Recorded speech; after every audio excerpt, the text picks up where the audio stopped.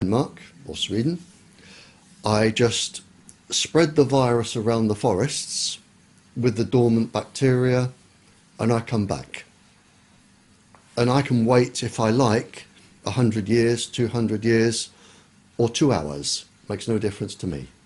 And then all I have to do with HAARP or a similar device is put the frequency, the microwave frequency off the ionosphere down onto Norway whenever I feel like it. The virus will spring to life because their host has sprung to life. This is where we are. So countries can now, just by introducing bacteriums and viruses and whatever, they can totally devastate uh, the economic possibilities of another country.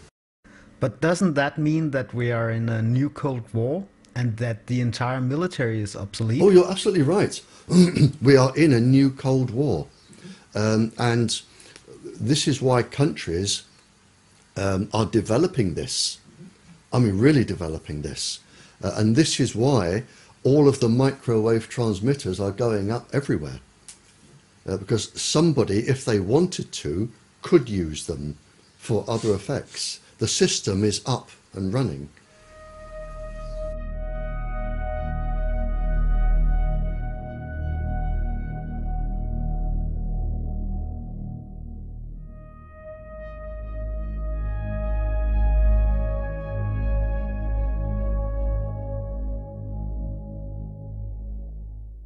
in a three month period, I had five lady police officers in this house, all with cancer.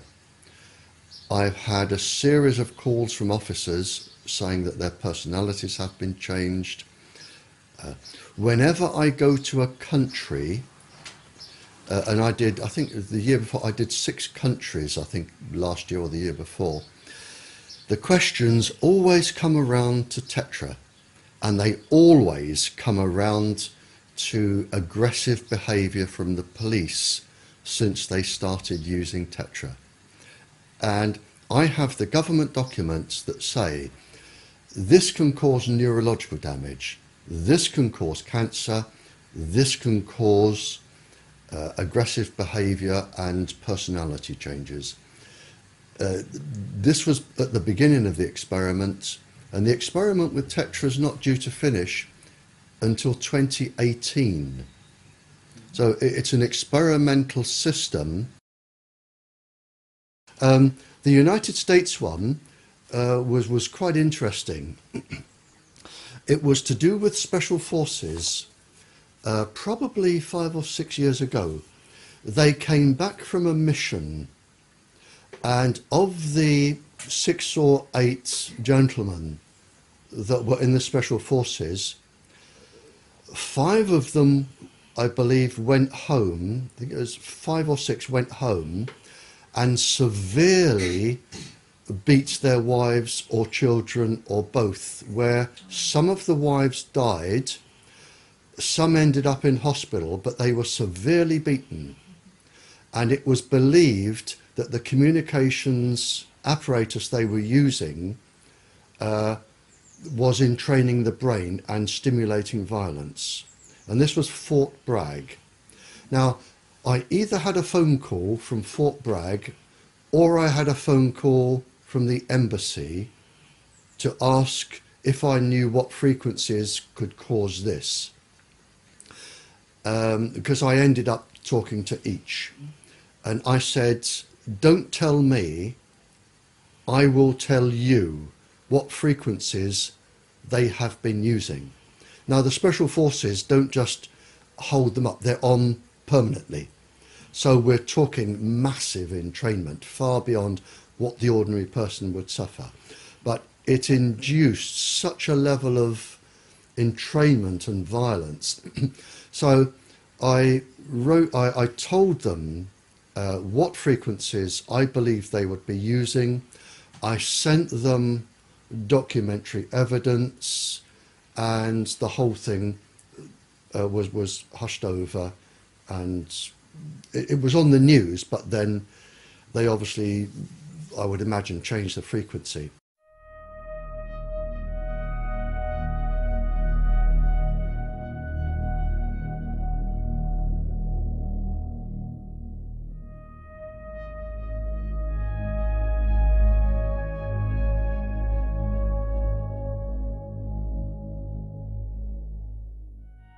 It's been shown that a child using a cell phone, just an ordinary school child, if the child uses the phone for just two minutes, the brain waves can take up to two hours to return to normal. Two hours. And that's been published. Now, in those two hours, the child's brain is not acting as it should, and it could demonstrate itself in a number of ways. For instance, if, if the child were in school and made a quick call from the playground, it could be lack of concentration, hyperactivity, bad behavior. It could be anything like that. And that would slowly ease off over two hours.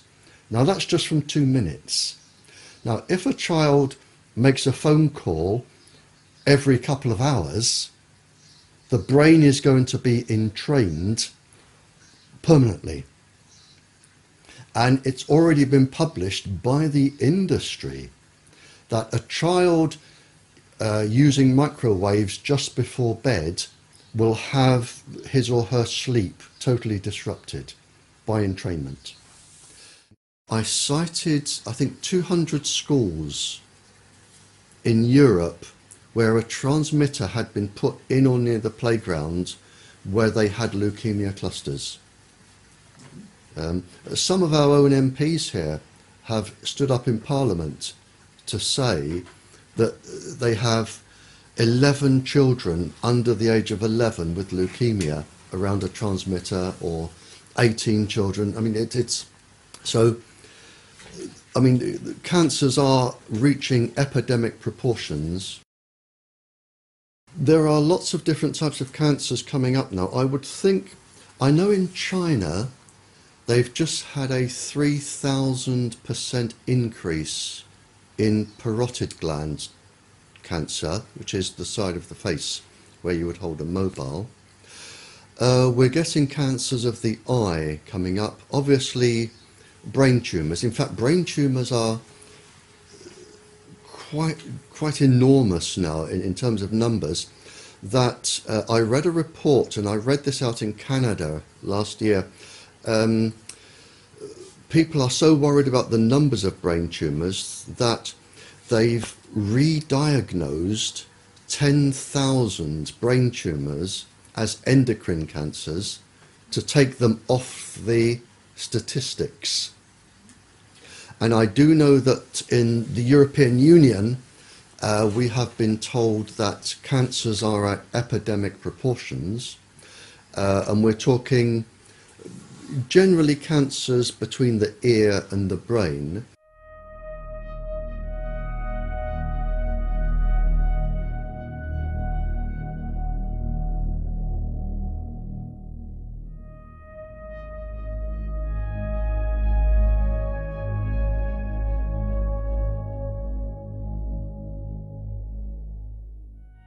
Years ago, our government said to its scientists when it comes to microwaves, uh, you will only talk about things to do with heat, and that is it. So they won't even discuss anything else. They will deny anything that doesn't have anything to do with heat. They even dis- they even deny all of their 40 years of research leading up to this. Yeah. Although they said this can cause cancer and all the damage, they say no, it can't. We're only looking at heat, and heat is all that matters. Yeah, uh, um, I prefer to call it lying. All right. Yeah. Uh, yeah, I, I think I've never known so many liars uh, in my life as what is coming out now right. from the government. Uh, they, I mean, put it simply, they did all the research, they knew the dangers, and then they decided to lie to the public for no other reason than to prov- to save themselves with lawsuits and to make money for industry. And that's written down, and I've got that written down. Okay. Um, so for the last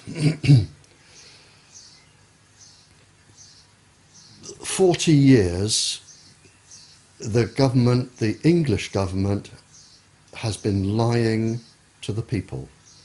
And the American government, the Canadian, the Australian, they have been lying. Uh, they have been lying to protect industry, protect their profits, to protect themselves from lawsuits. Uh, so it, it, they are really just liars, and, it's provable. I I made a statement in Birmingham, in this country, probably 15 years ago, uh, and I haven't changed it since. And I've said that I believe that this industry and the part of the government which is encouraging them will be responsible for more civilian deaths and suffering than all the terrorist groups in the world ever. And with the growth of the industry over the last 15 years, I would say now that these people are probably going to cause more death and suffering than the entire Second World War. And is that genocide? Yes, without a shadow of a doubt. And are they going to get away with it? Yes, because they are untouchable. They are outside the law. Who is actually behind those decisions? Is this sanctioned by the WHO? Sanctioned by the World Health Organization, without a shadow of a it is the same people. Um, it's the same people sit on the ICNIRP certificate, they sit on our government's Health Protection Agency, sit on the World Health Organization. Uh, it's the same people. It's the same people. There's probably no more than 20 of them. but they, yes, they are going to, in my opinion, commit the worst genocide this planet has ever known. Not just people, but animals, plants. They are probably going to cause more destruction uh, than a global war. And in several hundred years' time, uh, people will look back, whoever survives, and look at what we try to do to stop them.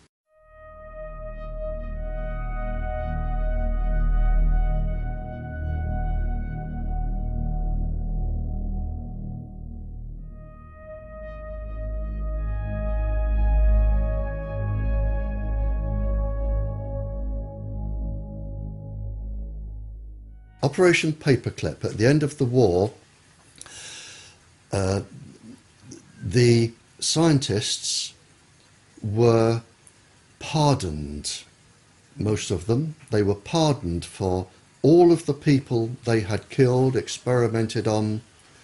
They were given new identities, mostly in the United States.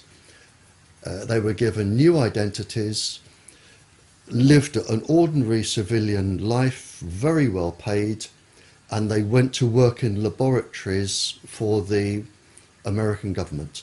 And they handed over all of their research, and this is where it came from. And this was the basis of all of this Operation Paperclip. If they could catch somebody and keep their name secret, mm-hmm. that was Operation Paperclip, and they took them back. They took them back and they kept them. They used all of their resources, uh, and there was a lot of scientists. They used all of their resources, uh, and, and that was the basis of the mind control, the drugs, and everything else. I, I do know one experiment, just to give you some examples. They, they, I know that they found that um, with, with one of the subheadings was uh, the microwaves on pregnant women. And they found that they could cause a, a 50, 57.7 increase.